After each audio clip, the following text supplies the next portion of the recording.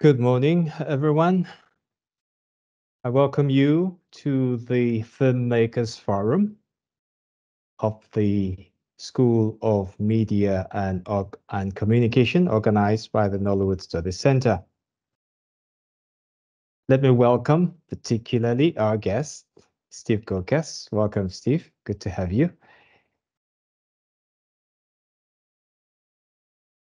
Thank you for having me. Thank you for coming.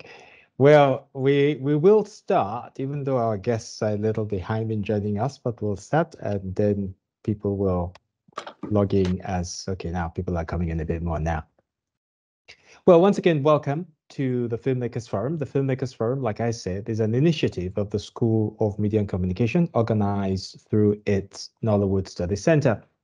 And the whole idea of the Filmmakers Forum is to facilitate uh, an interaction amongst filmmakers and also to create that link between the filmmakers and the members of the audience.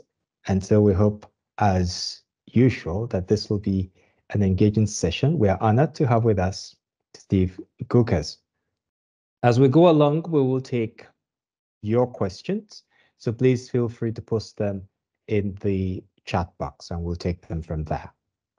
But let me introduce our guest. He doesn't need much of an introduction. He's very well known in the industry. Steve Gukas is a seasoned filmmaker with a background spanning television, theater, advertising, and film.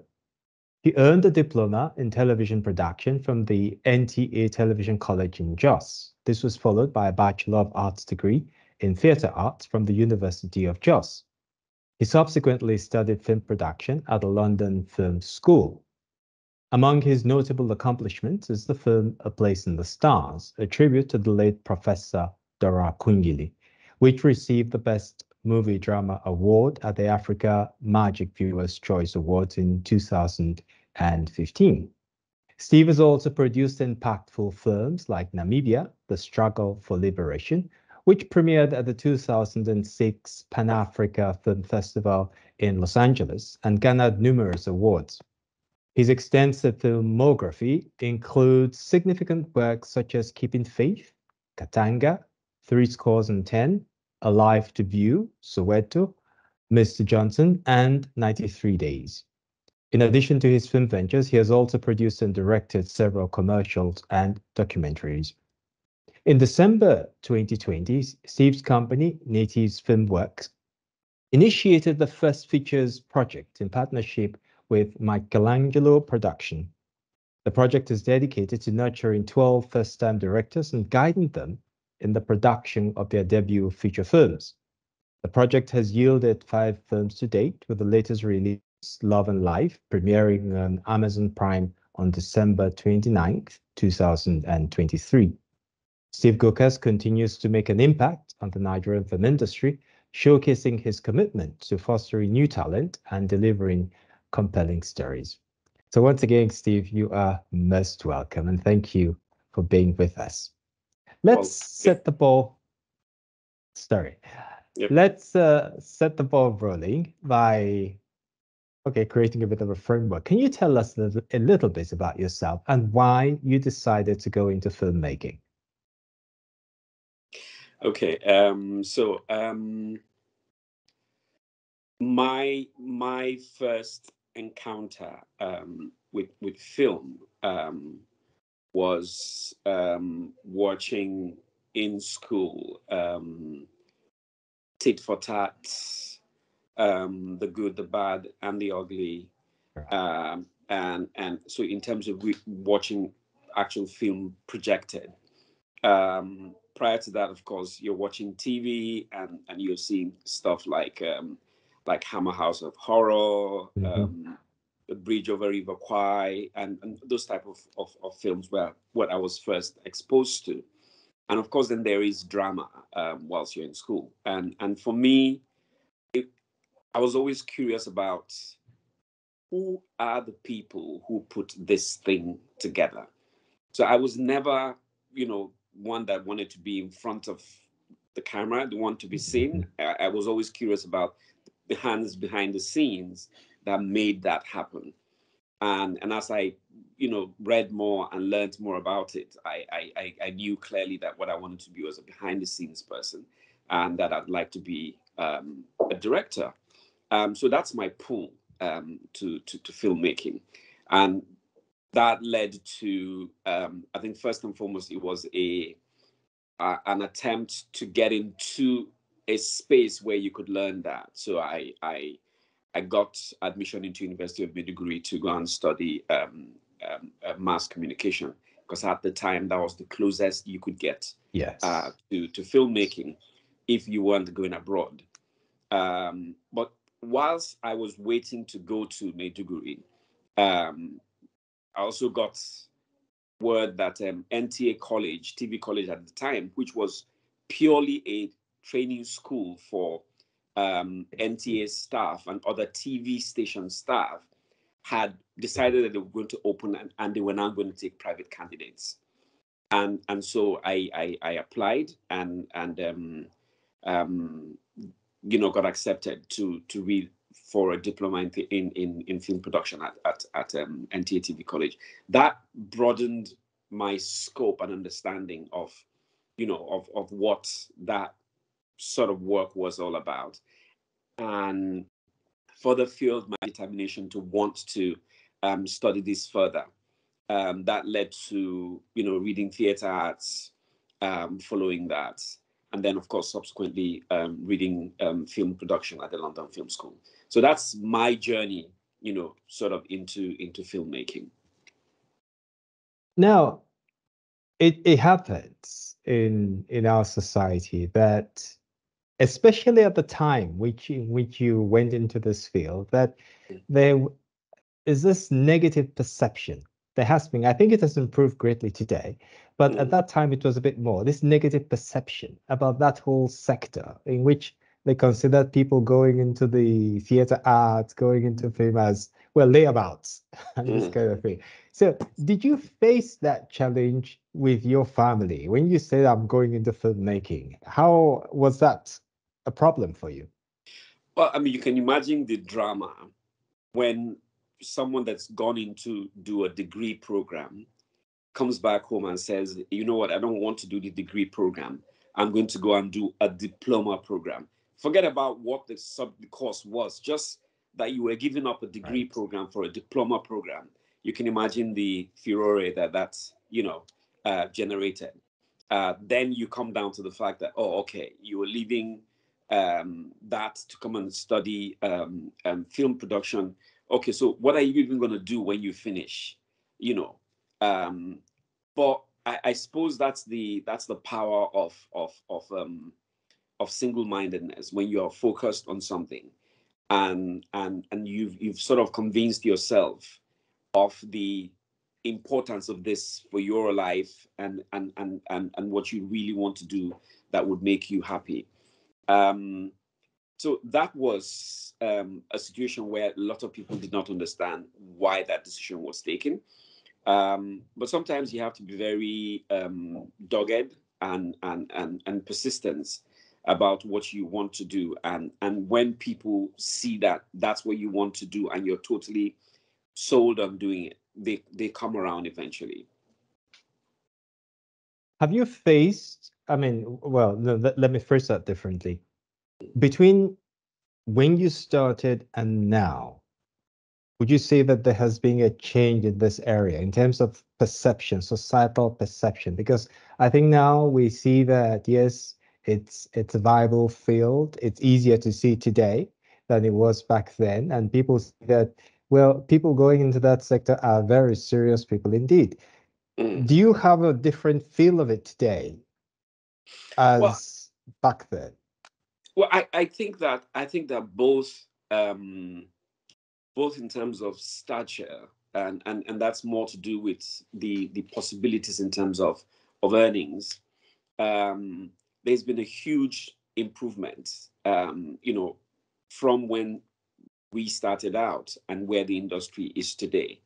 Um, today we get calls. I mean, I get calls from parents saying, "Oh, my son wants to do this, or my daughter wants to do this. Could you help them? You know, um, you know, give them a leg up. You know, um, because you can now see clearly there's this this clarity on on what is what what it is that this, this whole thing is about.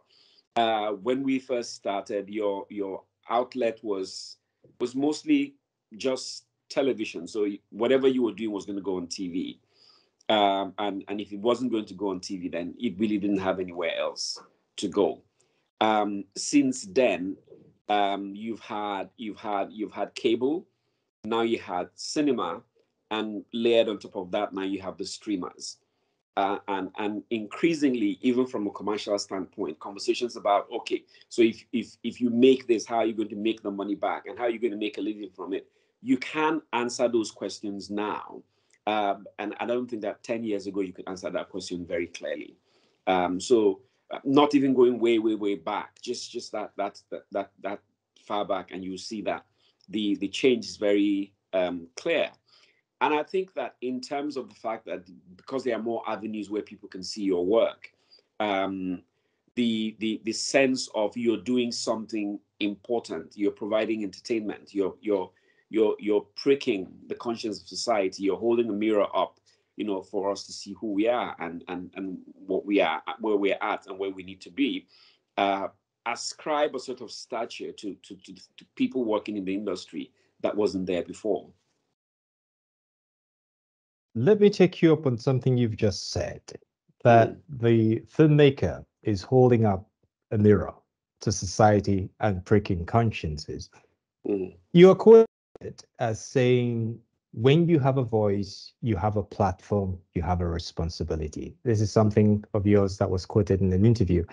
And you said this in regard to the role that films should play in addressing issues and fostering the right composition. So, what is your philosophy on the role of film, especially with regards to advocacy?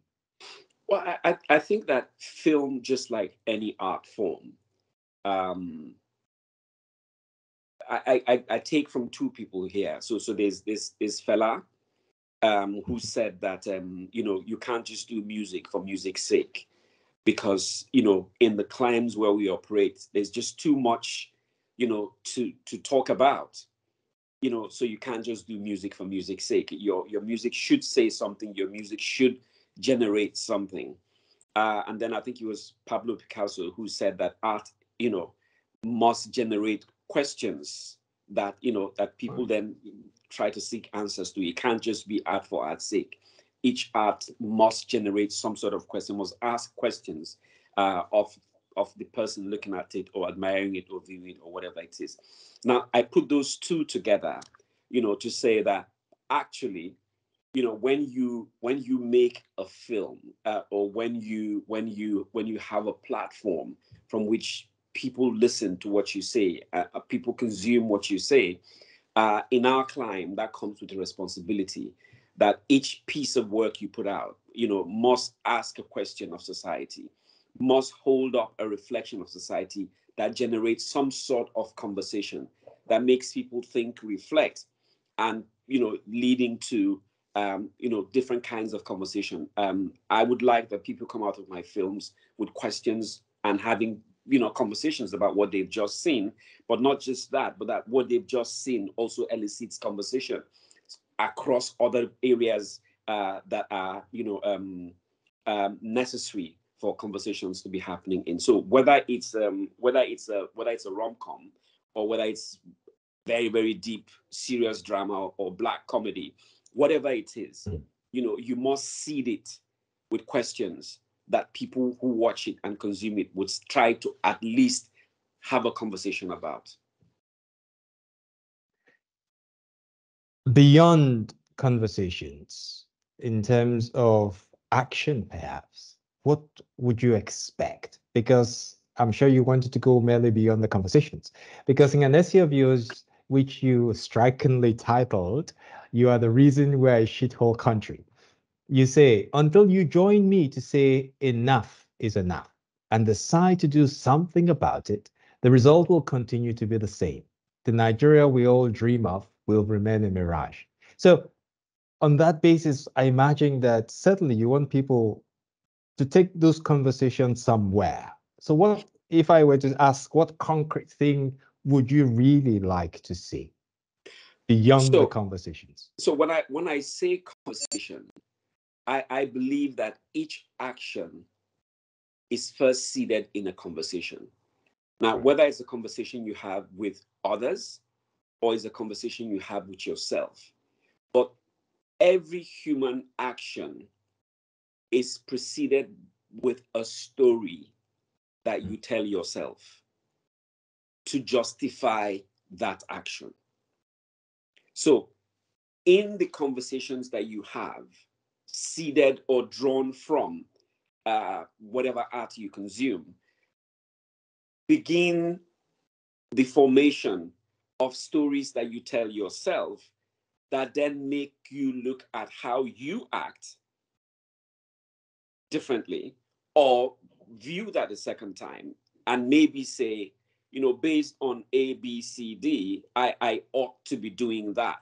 Because the, the thing is you you can't you can't you can't physically, you know, make someone do something, but you can on a very um very sublime, very um easy, gentle manner, seed thoughts, seed conversations, because that thought leads to self conversation, or that thought leads to conversation with others. And that conversation with others leads to some kind of action. And films have been known to lead to a lot of action and change. But but but that that happens with films that are not didactic. Hmm. You know, the films have to understand, or the filmmakers have to understand the art of seeding conversations and seeding questions in the stories that you tell, uh, because it is when it's when it's consumed without a feeling of being lectured or being talked Right. to, that it is most likely to to to seed and ask the right kind of questions, elicit the right kind of conversations, and lead to the actions that are needed. I I, I believe that that's that's that's what it's like. You know, uh, recently I have paid a bit more attention, you could say, to the words of our national anthem. And really, you listen, you you you pay attention to those lyrics. It's a sort of uprising, invigorating kind of thing to it. Now, Mm. uh, what you say, I mean, it, it links up with me with what you're saying about story and seeding action. Mm. How does that? Because really, we are we are the kinds of stories we choose to accept and to live. But then, how mm. does that guide you in terms of deciding which stories to tell? There's so much talk today about telling the authentic African story, whatever mm, that may be. So- that is, yeah. so, but how, when you choose your stories, because you did not, when you were speaking earlier, limit yourself to a particular kind of story, because you said the rom com, the horror, and so on. So, in choosing your own stories now, keeping in mind what your philosophy is, what guides you in deciding which kind of stories to tell?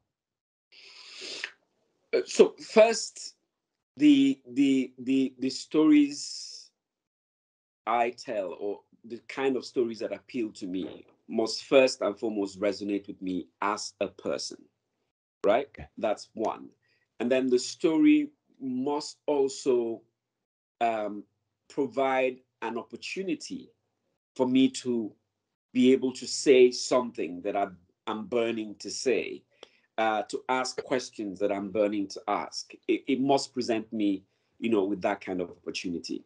Um, and and and no matter how um, how how how silly it it might seem, you know, sometimes is is is in is is in the laughter that you seed thoughts you know and Mhm. sometimes it's it's it's it's in the mundane and sometimes it's in the utterly serious that you can do that Yes. as well um first it must provide me with that opportunity and and once it does then it doesn't matter what genre it is um Okay. uh, because the truth of the matter is that each each genre has its um has its guidelines right and and that once you understand the rules of any genre you can apply them to telling a story within that genre that still achieves you know what you want to achieve so i don't feel limited to any particular genre um, I feel pulled to stories,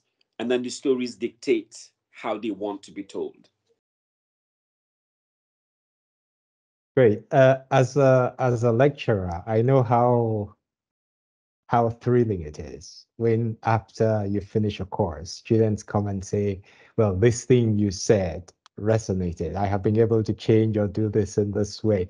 Mm. Do you get? Have you received feedback like that in line with what you are trying to do with your films? Do you get that kind of feedback that yes, which reaffirms really what you're trying to do to say yes it's working um, i do get all kinds of feedback um, some directly related to, to the film and, and what the film was trying to do and, and that's that's always gratifying when you get that um, yes. but i also get feedback from people who who because of the particular way you made the film or, or because of your particular body of work have been drawn to become filmmakers themselves okay. and and want to be filmmakers because the thing is that in the in the in in the multitude of voices you have more opportunities to speak yes. and therefore as much as it, it is gratifying to get someone come back to say, well, I watched your film and it did this for me and it made me do this or this, this, this, or it just pricked my whatever it is. As much as that is gratifying, it is also equally, if not even more gratifying, to hear someone say, well, I am coming to this art form because you have inspired me to join it. Because then suddenly you are able to say more vicariously, you know. Right and therefore, in that multitude of voices, you have the opportunity to even speak more, say more, generate more, and cause for more to happen. So, so on those two counts, it's always exciting um, to get feedback. I guess it's rather like building a, uh, a group of disciples so taking on the message. okay. You can only say now, so much by yourself, you know that. Exactly, exactly. Yeah. just a reminder to our audience, please drop your questions in the chat box and we'll take them from there. Let's go in a bit of a different direction. Uh, now, along with Dotun Olakunri, you have begun a project called First Features which is aimed at training emerging directors and guiding them through the business of filmmaking. Can you tell us a little bit about this and what you hope to achieve? Okay, so in again, still riding the theme of multiplying your voice, right? Um, I have provided training um, to young filmmakers um, across Africa and, and, and in some parts of the world as well. And, and what you get is, is a people who are hungry to learn, passionate to go out and do something, but particularly in our clime, are faced with the challenge of then being able to actually practice what they have learned. And, and, and there's, there's also become some sort of a near exploitative bent to training where people have have seen training as a means of making money and therefore provide all kinds of training. And there are the the, the, the, the people who, who provide training because they want to improve industry and all of that. And so there's there's a mixture of both of that but the byproduct of all of that is a filmmaker or, or a young person who has learned the craft in some form, um, but unable to find expression for it because they can't find the funding or can't find the appropriate platform.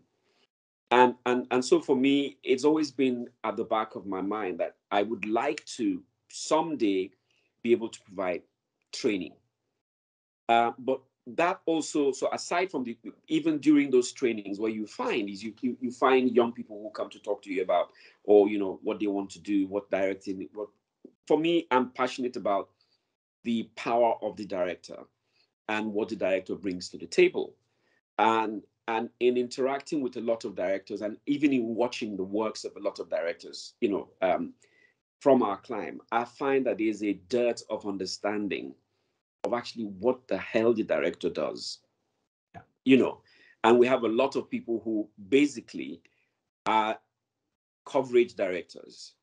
So you, you go you go on set and it's it's it's it's it's a wide, it's a medium, it's a close up, and we're out. Basically, depending on you know what action you're covering. But there's very little thinking and there's very little they're adding into that. And for those kind of directors, I, I say you're not you're not needed. The DP or the camera operator can do that. So what is the director bringing to the table? And I find in conversations and in watching the works of a lot of people that there's no clear understanding of what the director does. And and so I I I, I just wanted to say, listen, in my limited knowledge, this is what directing is.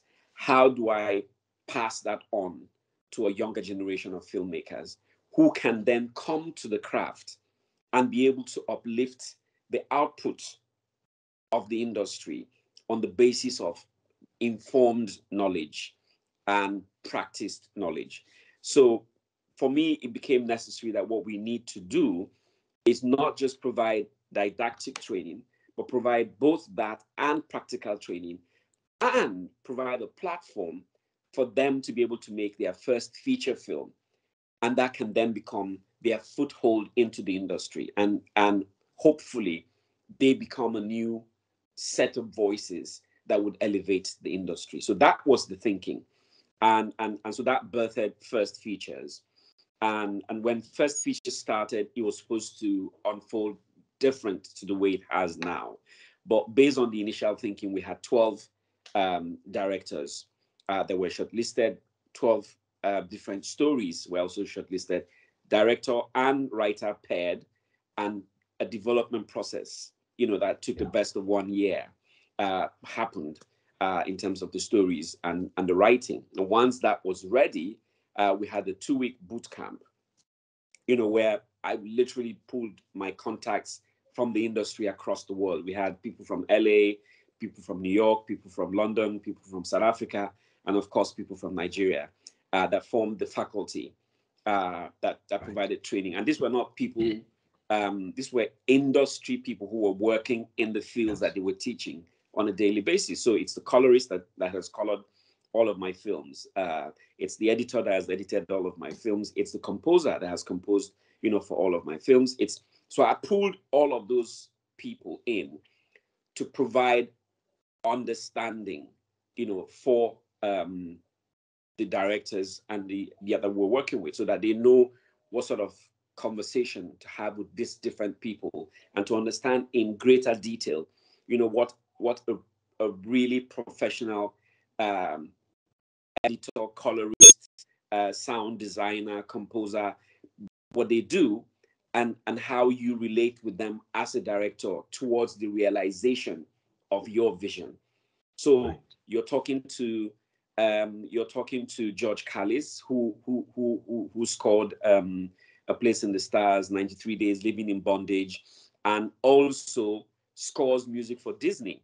Um, so when you're having that conversation, you're having that conversation at the height of the industry, right? And George is providing you guidance to understand the questions that you ask, how to relate with the composer, how to how to spot your movie to be able to say I think music will work here. I don't think music will work here. And how do you determine what kind of music you want to hear at every point in time? That's a conversation Nollywood does not provide you with, right? And and you have the same thing with um with the colorist, right? Who's coloring for for Netflix? Is coloring for for for for BBC? Is coloring for all kinds of people you're having that conversation with someone who does it on a daily basis. Same thing with the editor. Same thing with the with the with the audio post people. I'm pulling in a wealth of experience that you would not have exposure to in one go. And in most film schools will not even have exposure to at all. You know, yeah. so Dr. Lakri, who's my production partner, um, runs Michelangelo Production. And when I pitched that idea to him, you know, we decided that, you know what, it's something that's worth running with. And and and so we, we did. And essentially putting our money, you know, on the table to provide that training. Um, we had we had writers and we had directors from all over the country, and every single one of them, um, all we said to you that you had to do was get yourself to Abuja. If you get yourself to Abuja, we provided you boarding, we provided you feeding, we provided you a per diem, and we provided you training. For two weeks, you finish, you leave, not a couple, right? And then after that, I then work with the directors individually. We take your script and we break it down. So you, you, you do you do a lookbook based on your script, right? You bring that lookbook, we have a conversation, and you take that back, do whatever corrections there are. Then you now go on location recce. When you finish that, you do your short listing. And we do your short listing, and that becomes a conversation. That's that's a 10-day session with me. Every day, nine to five or nine to whatever time we finish that day. But we're looking at why you are taking every single shot. Because part of what I say to them is listen, not even Spielberg ends up with the movie that he envisioned when he shoots a film. Right? And that the, the closer you are to the film that you envisioned is a factor of how prepared you are when you go on set because everything that can go wrong will go wrong. It is your ability to rein things back in the direction of your vision that allows you get as close to the movie you wanted to make. Because truth is, if you don't, the whole crew will make a film for you. There will right. be a film made, but it won't be the film you wanted to make. So the closer you get to the film you want to make is a factor of how prepared you are going into making that film. And so what we do with those directors is to get them as prepared as they can be, you know, possibly.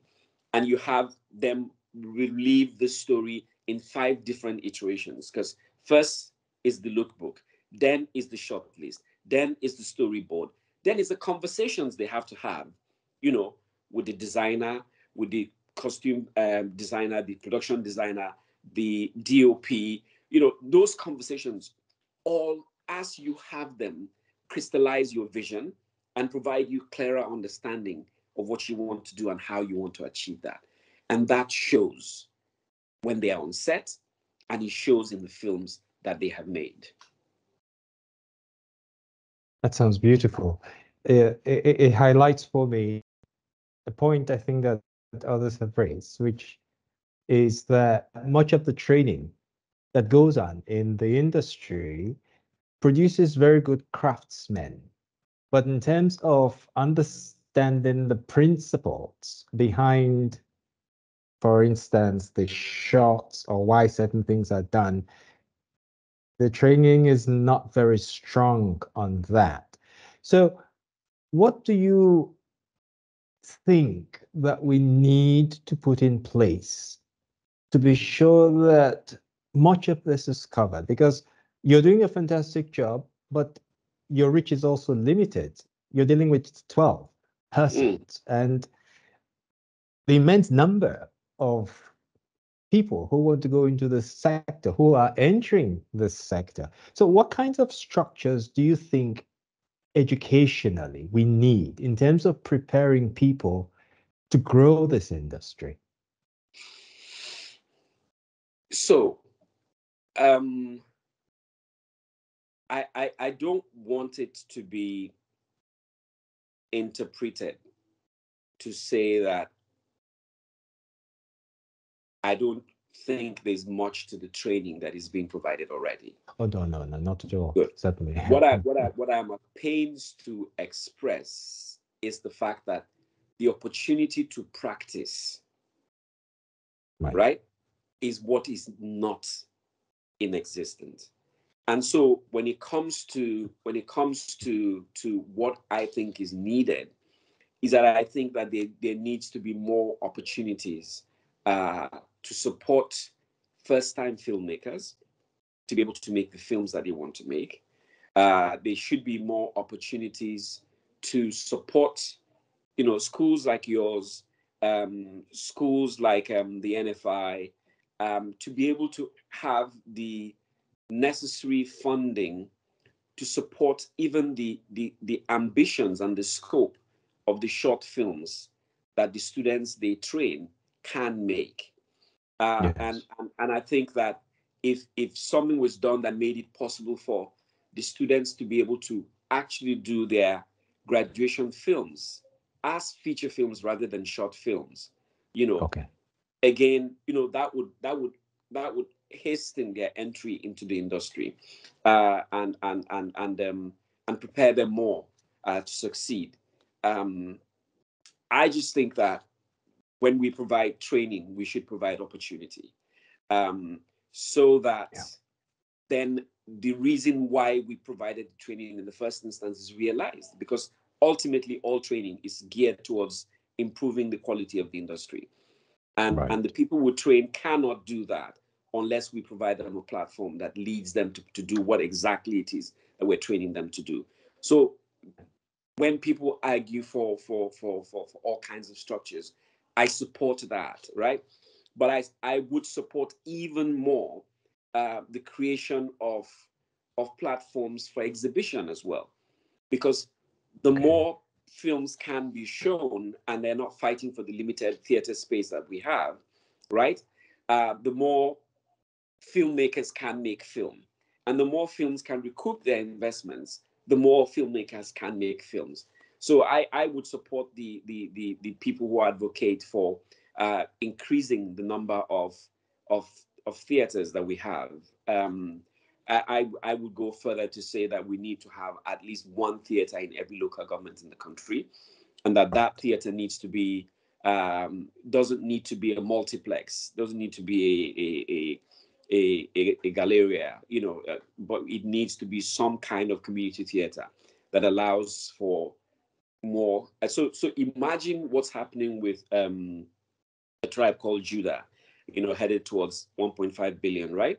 But imagine that that film, because even at that amount of money, that film is probably still not yet seen by 500,000 people in the cinema, right? So imagine that that film had avenue in all local governments in the country, right? Imagine how much we'll be talking about.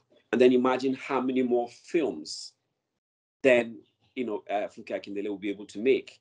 And she can't do all of those by herself. So she would have to engage other filmmakers. So that's what I'm saying. So first, an opportunity to make the films, or even more importantly, an opportunity to exhibit the films. So um, it boils down largely to the funding aspect because yeah. if we want to create that structure yeah it's funding funding yeah it and i think also we could say that it highlights the important role that the government can play because we have seen yes the industry has grown without likely without that support but mm-hmm. there comes a uh, there comes a phase because i know that with the with the distribution framework that was introduced by the Nigerian Film and Video Censors Board, some of the people who took on that challenge, I think the result not so fantastic, largely because they did not have the kind of funding required to set up that structure nationwide, uh, and so on and so forth. So I suppose part of the challenge here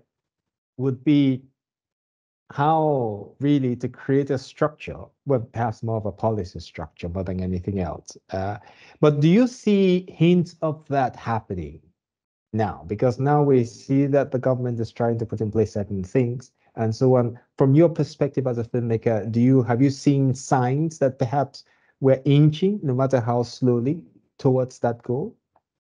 Well, I'll say I've heard talk. Um, I'm yet to see action.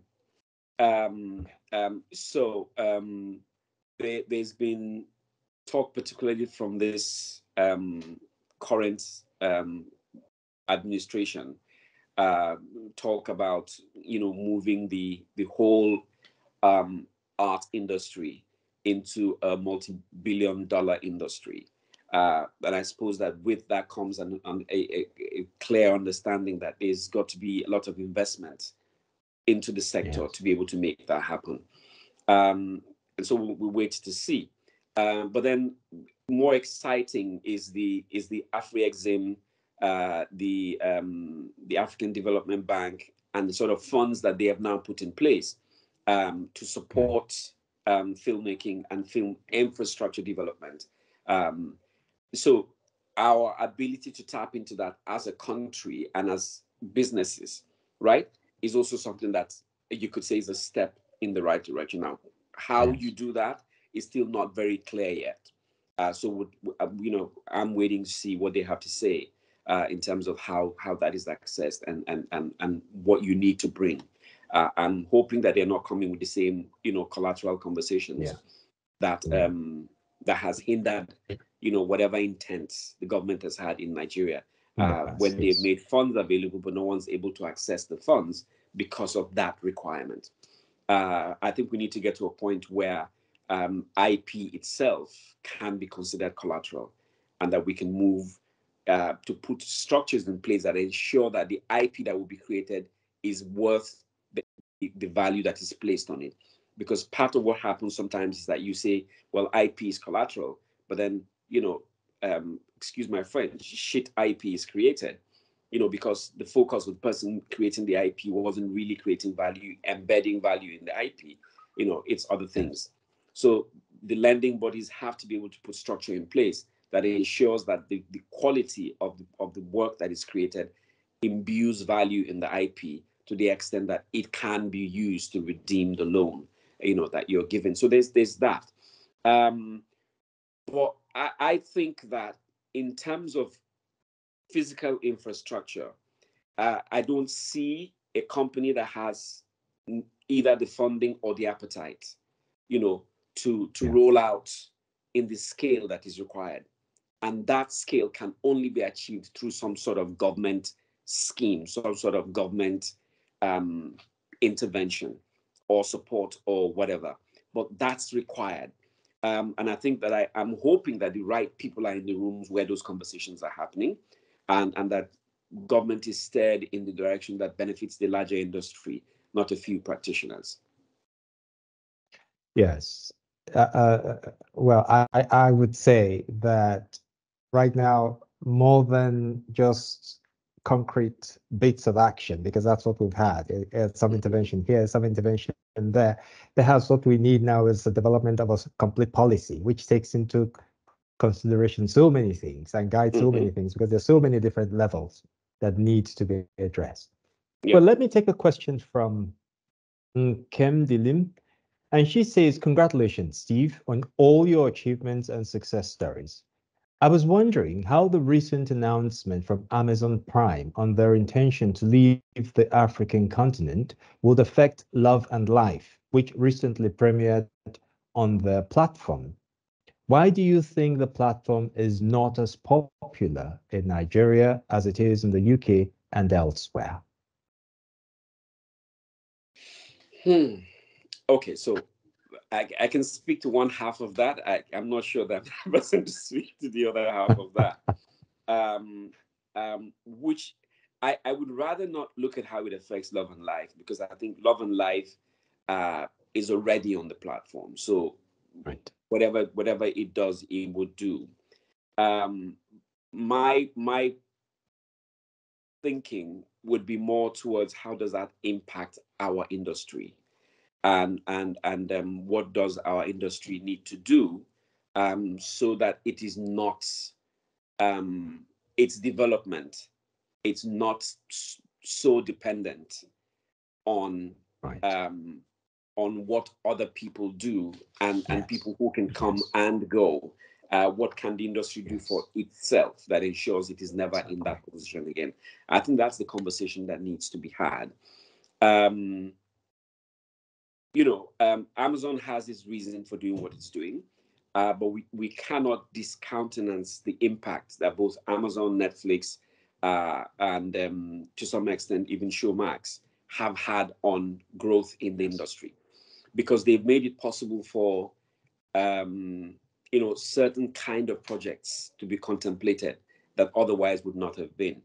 Um, yes. and, and so they, there is a lot of merit in the fact that they they they they, they play you know in in the industry sadly um their exit uh, from um, they are going to continue to do acquisitions. That's what they have put out there. So, but their exit from doing originals is where yes. the impact is, and it is in those originals that filmmakers are able to be ambitious. You know, um, and this has impacted people, different kinds, different filmmakers, and different production companies. And we have also been impacted because we had in development a limited series that was just about to be greenlit, and that's you know not anymore. And the scale of of of of of of the production that would have happened, you know, because they were supporting that that that production, can't be replicated unless we find another, um, you know, uh, platform to support that. So, to the extent that our ambitions and what we do are dependent on that, um, you know, there is cause for concern, and therefore what is our come back to that? How do we how do we make sure that we're not in this position again? I, I would say two ways.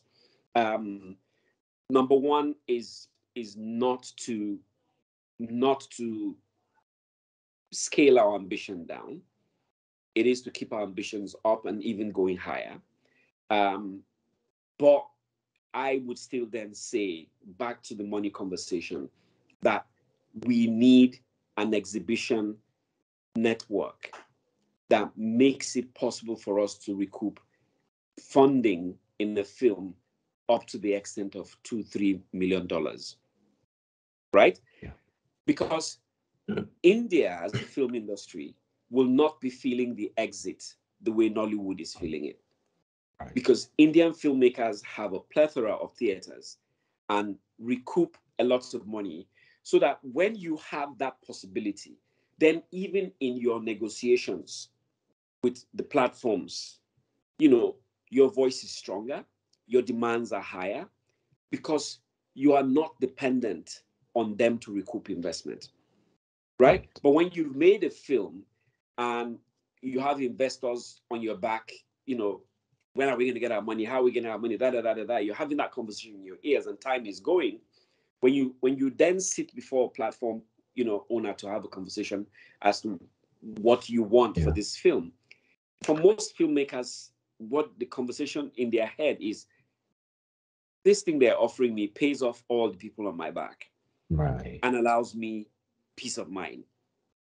So you're not negotiating based on the true value of what you have brought to the table but you're negotiating on the basis of what your need is at the moment. Yes. And we have to be able to take that away, right? And the only way we can take that away is to create platforms that allow for revenue streams, you know, exploitation that puts you in a strong position to negotiate, you know, down the line so that the platform or the streamers are part of the revenue streams available to you, but they are not the only revenue stream available to you. I think that that's where we need to get our industry to. And if we're able to achieve that, then you know, just the sky's the limit. I fully agree with you there because uh, uh, if you look at how our industry has even reached the level that it has, it began with people looking inwards, coming back, you know, focusing on what resources we have and playing with that. I mean, yes, it may not have reached the sky with all of that, but at least that is a firm basis. So mm. truly, what you say about us looking inwards and finding the resources within that, I think will be the way will be the way forward. Mm. Now let's go back a moment to the first features project in line with all of the thing of funding and recouping one's expenditure that we've been talking about. One of the targets of the first features projects was to elevate Nigerian cinema to global prominence. With the themes that have been released so far, can you assess your attainment of that goal, especially in terms of the success of recouping all the costs that you have put into this? So, the the objective of achieving that with the first features project is not a is not a one-time objective. So let me just put that out there, which is that the ambition is that these filmmakers would make this set of films and then go on to make on an incremental basis films that up the game, both their game Yes. and the industry's game. Um, Right. I, I would gladly wager these films against most of the films that established filmmakers are making in industry very, right now. And I would say they would stand heads above shoulders in this at the current you know setting. So that's that's for me already that's that's that's an achievement. And then the films are also being very well received, you know, um, on the platforms. Um, Love and Life and Cake have gone out, and both have been number one on on the Amazon platform, and both I think are still on the on the top ten um, um, at the moment. So again, um, that's that's um, that's that's that's that's the um, what do you call it? the, the the taste of what whatever is in the pudding, right? So that's Yeah. people. You Taste know, of taste of the pudding is in the eating. taste of of- the pudding is in the eating. Exactly. you know so that's that's that's direct feedback we're getting from that so so that's that's great but i'm i'm i'm super excited at the fact that i i i go on set i've gone now uh five times with five different directors and and i see and i see how they come into their own how how they they take charge of the project how how they express themselves and i'm i'm really really really confident that this class of filmmakers are going to be the future stars of Nollywood and of African filmmaking, not not not, not restricting them just to Nollywood at all. Uh, that we're going to see films from these filmmakers, both now and in the future, you know, dictate the direction that the industry is going into because they're very aware filmmakers and they're very confident filmmakers and they are very knowledgeable filmmakers in the craft of directing. When you were describing the process earlier, Mm. you mentioned that these upcoming directors, you place them or you give them access to expert colorists, editors, and so on, who also provided that. Now, this, this you you are focusing on directors, and I think generally people tend to focus a lot on some of these more prominent positions. But what is happening with ensuring that we have good colorists, more of them coming up? We have more editors coming up. People in these, you could say, largely overlooked roles, but which are so essential. How is how do you see that happening in the industry? Because if these ones who are doing so well now retire tomorrow, for instance, do we have enough people coming up behind who are learning the craft also from these experts in the field? Hmm. So, first, for me, why directors? Right?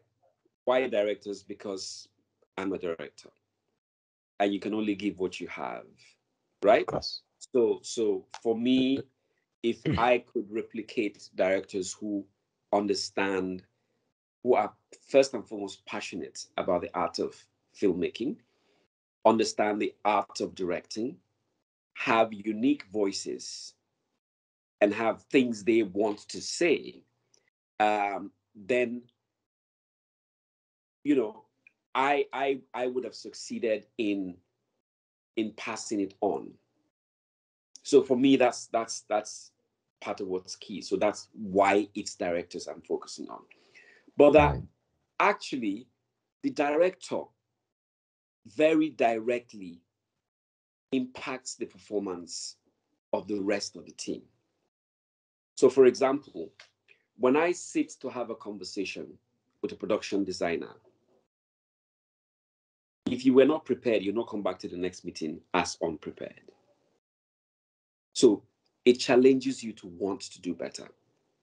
And I believe that a director that knows his onions is clear in his vision challenges the rest, the rest of the team to rise to a level of performance that they perhaps are not performing at. So that has a very direct impact on the rest of the crafts, right?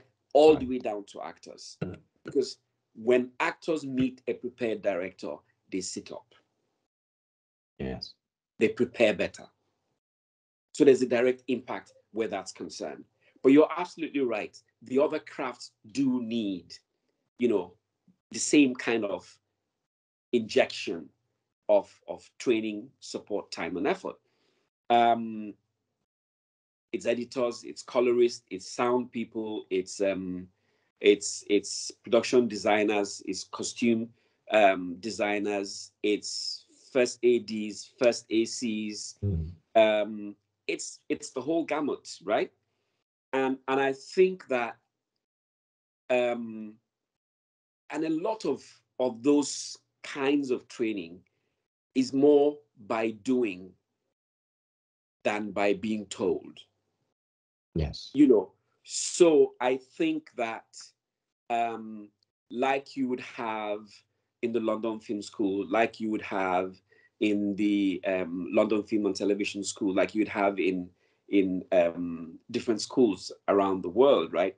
That the training institutions are the places where the people receiving training get to have, you know, direct practical time on facilities that mostly will not even have access to again when they graduate, right? So yes. you have the best yes. of cameras, the best of editing facilities, the best of sound stages, the best of whatever, whatever, provided by these training institutions. So therefore, uh, the the the um, the the the NFI in Jos, your school, any other institution that is you know established and seeks to provide that kind of training should have the ambition of providing those kind of facilities, right?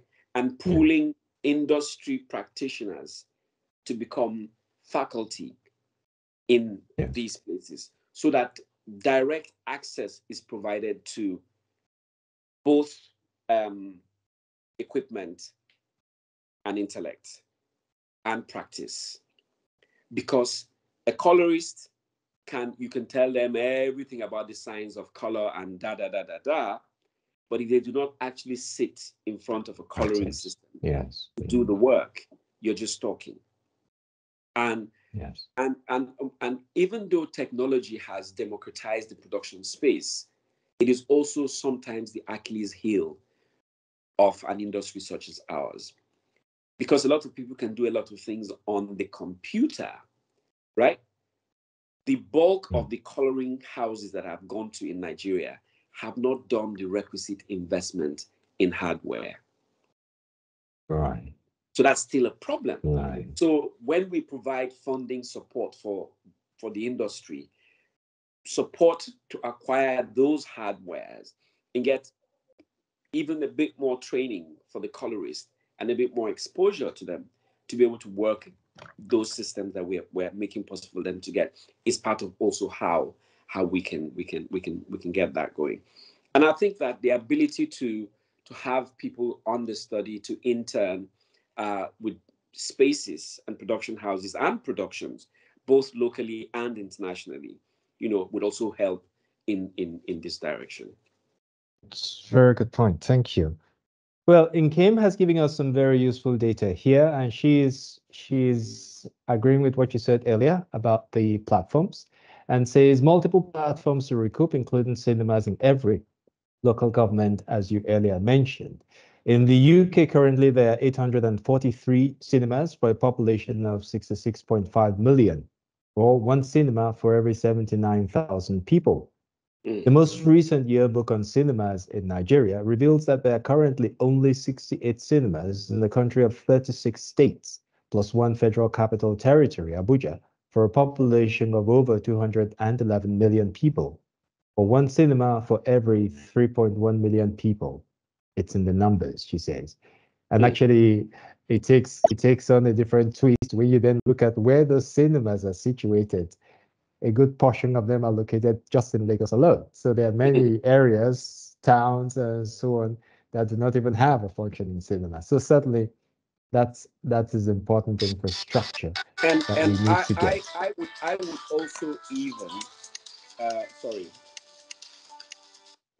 I would also even wager that one, whilst we tend to push everything to government, that I would also say that the the cinemas, the cinema owners themselves, the current crop of cinema owners themselves, haven't done much by way of audience development, because I think that it is it is it is actually still quite a shame that no Nigerian film has been seen in the theaters by 500,000 people. Lagos, with a population of over 20 million people, should very easily have 500,000 people watch a film in Lagos. So as much as we position that it is it is the absence of the of the cinemas themselves, but even the cinemas that we have right now are performing below par. And that's because the owners of those cinemas are not engaging in audience development. And that if we paid more attention to that, if, like most things in Nigeria, we just rent seeking, right? Yes, I've created a cinema. Whoever comes in, comes in. If they don't come in, well, people are not coming. But there's a lot more to that, right? Cineworld in the UK is still actively recruiting and pulling, trying to get people to come to the cinema, right? Uh, the, the, the, the, the biggest chain in the, in the US is still pushing to get more people to come to the cinema. So you can't just build a cinema and if people come, they come. If they don't, they don't. I think that part of the challenge is to get the current owners of cinemas to invest more in audience development, to do more to support the films that they put in their theaters. When you say audience development, what kinds of things are you thinking about? Um, when I say audience development, I'm thinking about increased advertising to create awareness um, of content that is in the cinemas. It is specialized discount schemes. It is loyalty right. programs. It is active taking of the cinema to the people. So, for example, there are, so if you believe that your audience grows to become your audience, right? Then there are categories of people that you should help in introducing to cinema. Right.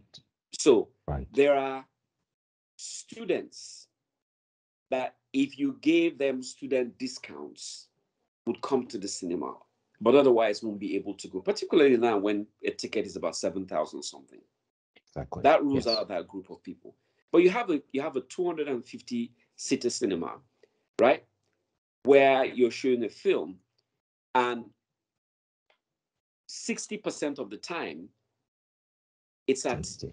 it's at 30% 40% capacity so you have a lot of inventory that is not being sold. How do you use that inventory to pull people who otherwise would not come to the cinema to come? And if you pull them in and they fall in love with it, they would then find other ways to then come again subsequently. Right? So it's about even going down to primary schools, right?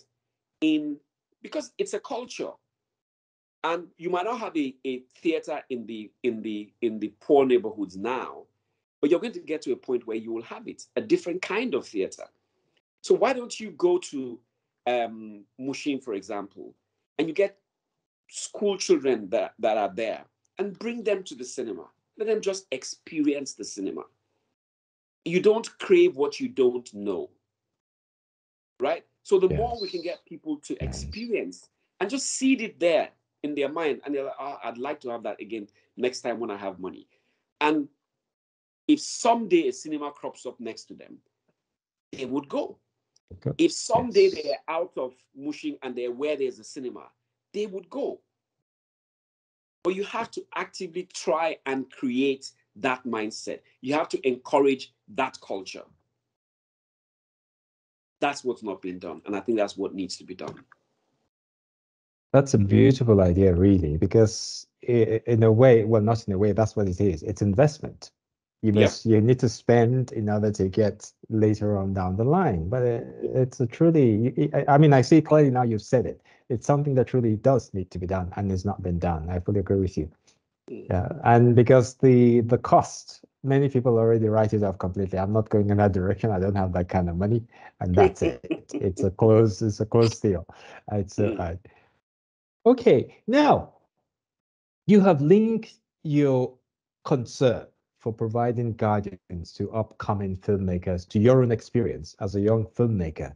What were the specific challenges that you faced and did you resolve them? Because there was nobody doing the kind of hand holding for you that you're doing for others now.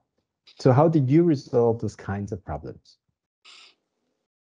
So I, I, I think I think most most of the time, um, the degree of hunger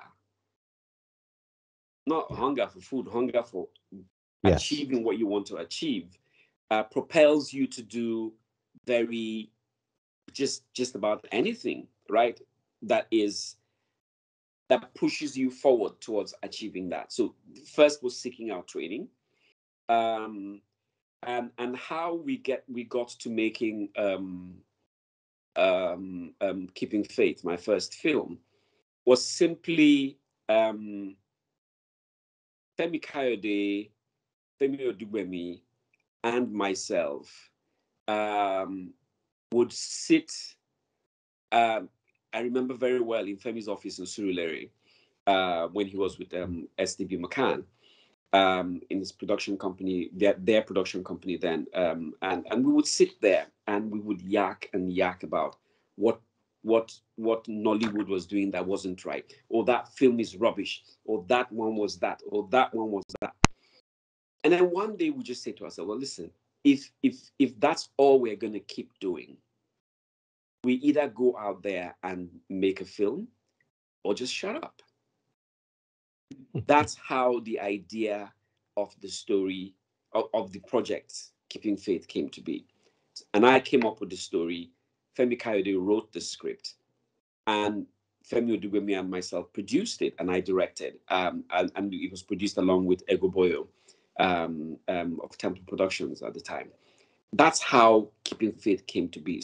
Just put your money, put your wherever where your mouth is, or just shut up, right? And and and so for me, it was the absence of anybody giving you the opportunity to do it.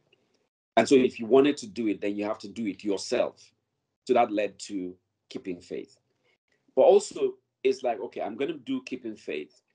But I also want to find out because at, at that time I was running advertising agency and I was I was making good money. So I could just continue doing that. But that was a stopgap thing because I, I really just wanted to make films.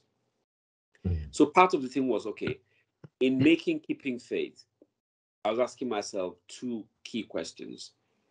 Was it something I enjoyed doing and would like to continue doing?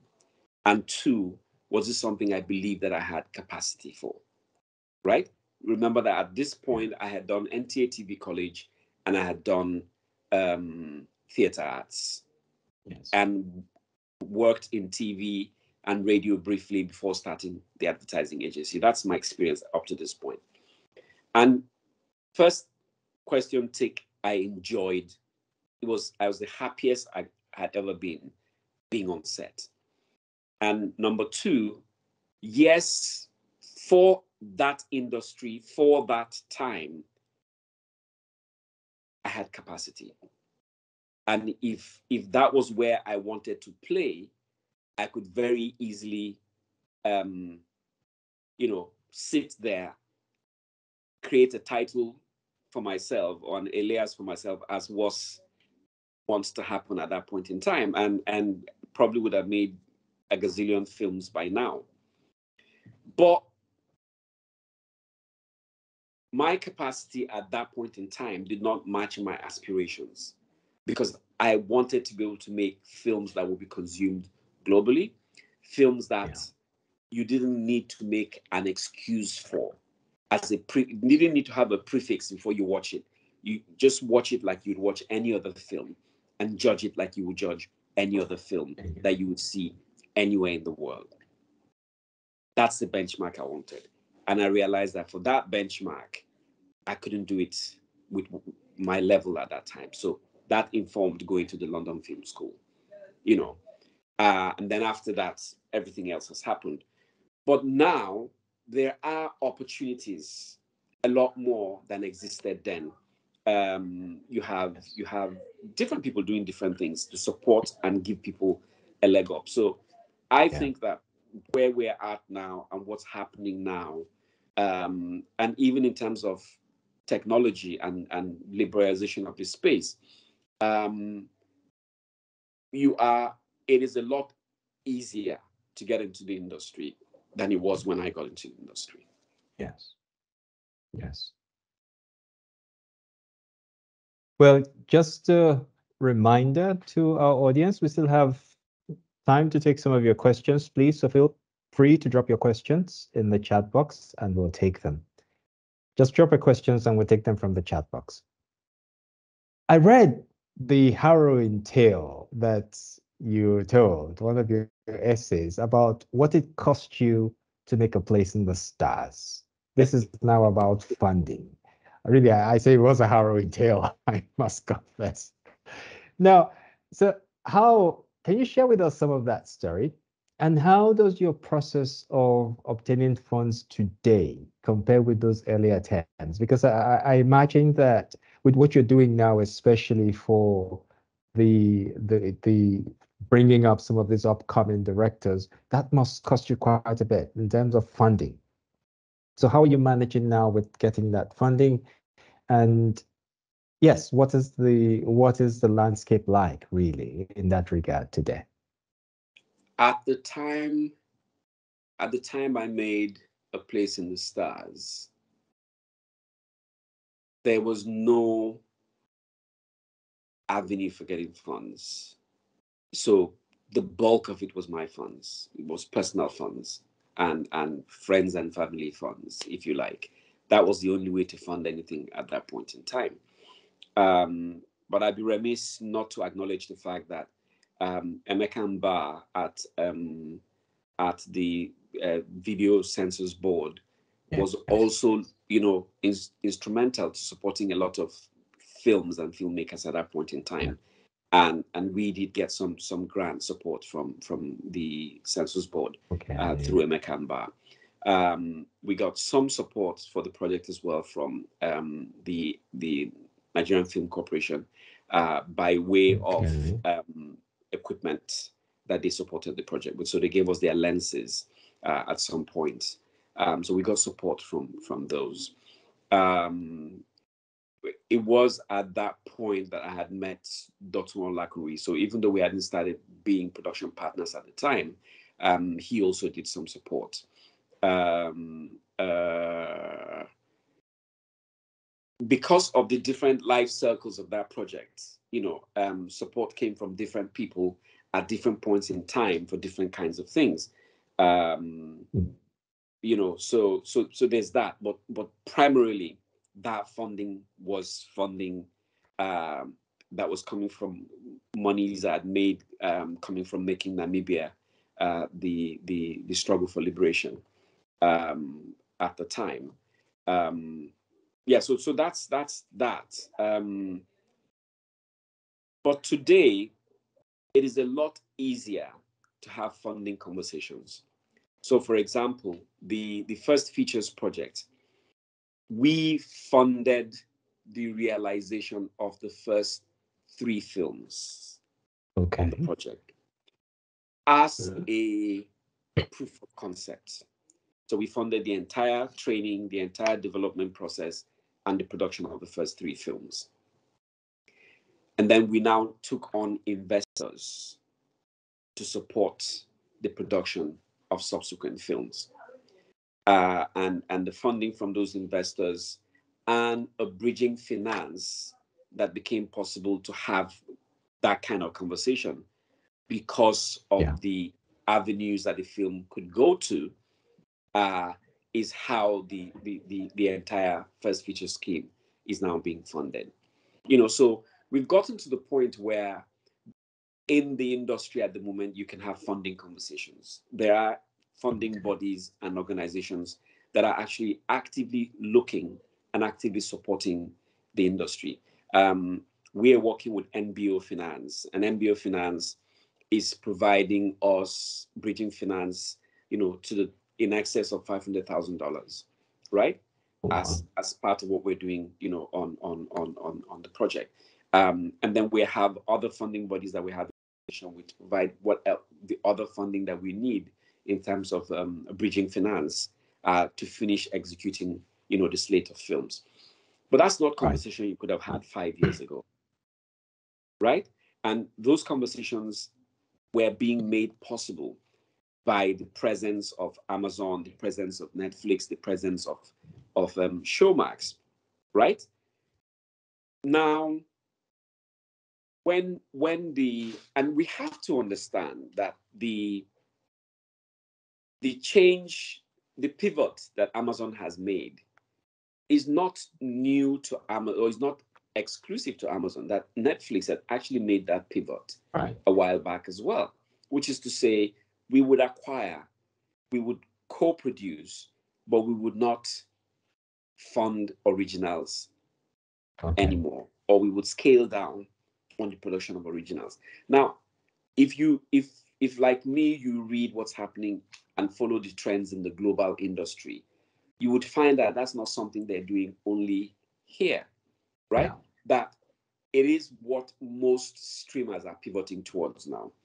Um, Netflix is going from spending, you know, billions in um, what do you call it, um, originals production they're scaling that down by a huge percentage and focusing more on third party acquisitions.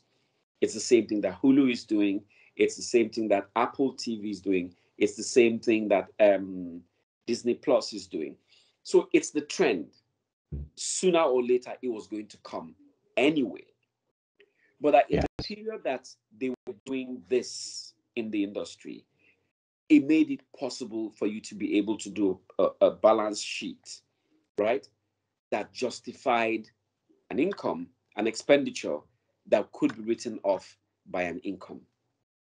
And because you could have that conversation, finance people were able to look at you and say, okay, you know what? Okay, we would give you this amount of money because you could cash flow it in a way that made sense to them.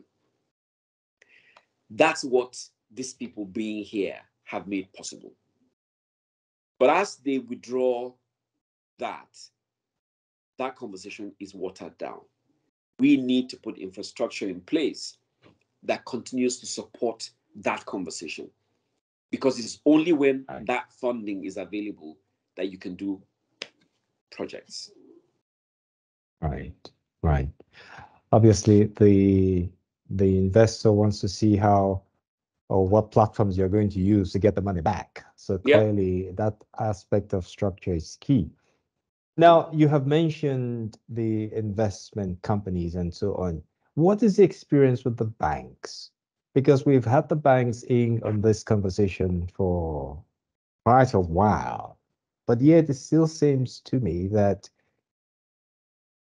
they still have a challenge with the industry in terms of really finding a way to getting i suppose it's not also understanding the the business as it were but i do not see i may be wrong but i do not see that the level of involvement i know that they have had their fingers bent in the past okay? But currently now people talk more about investment companies rather than the banks themselves. Is that i don't know am i wrong in this that the banks really are not as involved as perhaps they could be the banks pay lip service to what they want to do. They're snooping around the industry, but they have not devoted enough time to study and understand the industry. Yes. Right? Um, yes. They, they want the industry to fit into their model rather than understanding the industry enough to create a model for the industry. Yes. And until they do that, they would continue to be outsiders looking in.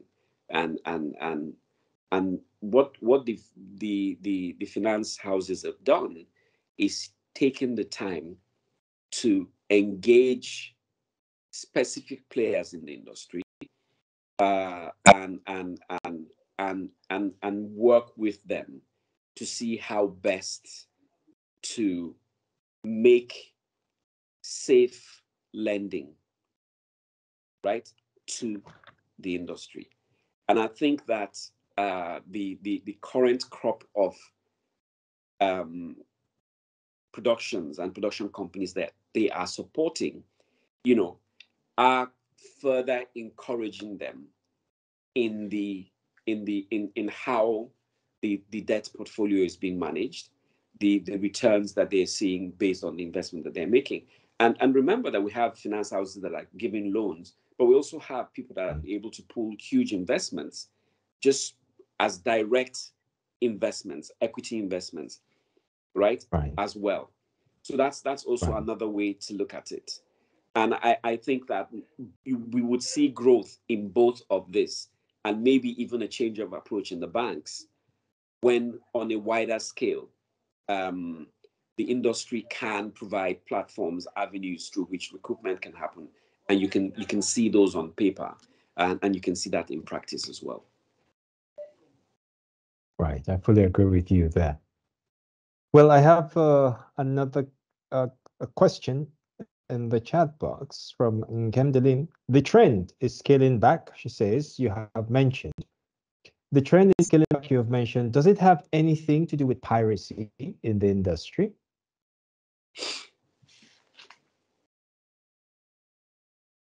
I won't say that piracy has has since so let me skip, let me roll that back since since half of a yellow sun i won't say that piracy has directly impacted the capacity of any film to recoup investments. It has been a challenge but it has not directly impacted the ability of any film to recoup investments. And i think that there have been more stringent um, management of content um, since then as well. Uh, I think that the, the bulk of leakage we have for content is when they go to um, when they go to the streamers. Um, Okay. For a long time, until recently, with um, a tribe called Judah and um, the other one, um, I forget the name. Um, there hasn't been a direct leakage from the cinemas, um, which is the case with these two films. Um, and I'm sure that that in itself would, would, would call for a lot more scrutiny on the part of CN, which is the Association of um, Cinema Owners, uh, and Right. that perhaps whatever happened there would be investigated and mitigated against. Um, um, but other than that, I won't say directly piracy has impacted any film to the point where um, it's a major issue. It continues to be a concern and a challenge, though. Great. Thank you. But linking it to what you said earlier, we also have to look inward to find creative ways to tackle that as a Yep. challenge. I mean, it has helped us to grow, really. If we if we have Yeah. to face the facts, it did Yeah. help us to grow at the beginning. And okay, how to work with that. Right. Thank you so much, Steve. We're coming to the end of this. Let me just ask you for some last words here. What advice would you give to young upcoming filmmakers, especially those ones that will not be able to tap into this great opportunity you are given to this group or those that you work with? So, for the fellow out there or the fella out there trying to get into this industry, create a name, and really get going, what, what kind of advice would you give to this person in terms of setting up structures? So I would say, um, if you're desirous of coming into the industry, um, first be clear what you want to be in the industry, uh, because most people try to be everything, Right. and you know, a jack of all trades, as they say, is usually a master of none. Master of none.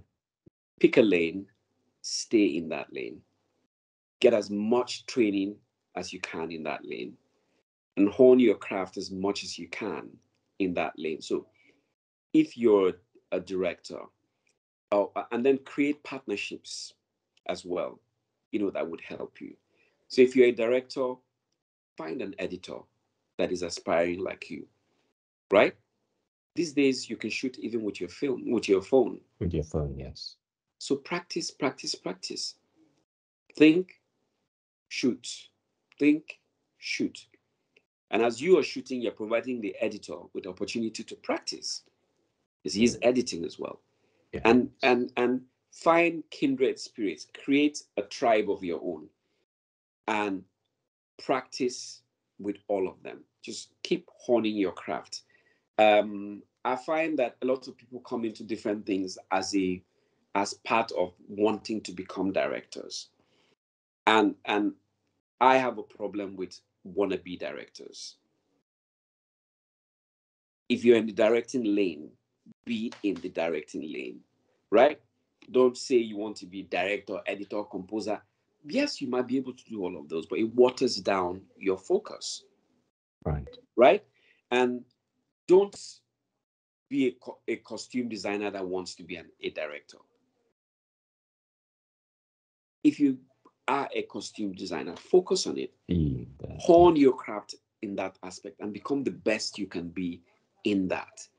And because as you become better at it, your the demand for your your talent and your gift would become even more and you would find more collaborators and you find more projects to work on right and you can go on to become you know the best at what you do and you would find opportunity to work in projects. You know but nobody wants to work with you now and the next time they come around and say oh no i'm no longer doing costume. I'm i'm i'm i'm, I'm trying to be a director. Right? Because people also like to grow along with people. Yes. and I, I won't be confident in collaborating with you if if I know that somehow your trajectory would shift in a way that leaves a void in my own team of collaborators. So Right. first be very clear what you want to be. Get as much training as you can in that space. And there's this in fairness, a lot of free training that you can get, you know, in different different organizations, different opportunities. But then there is also the University of YouTube, where everything Yes. you want is also there. And if you blend all of those, you can acquire whatever knowledge you want to acquire. And then do, do, do, practice, practice, practice. You know, um, find a mentor, someone that you can shadow, someone that you can reach out to just to ask questions, you know, just to seek direction and guidance and support.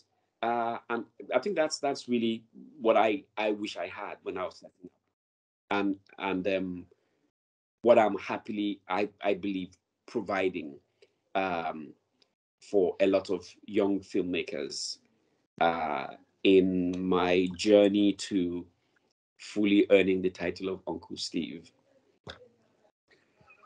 Great. Thank you so much. Thank you so much. Well, I will Yeah. add I would add to that what someone else, what others also have said, which is be visible.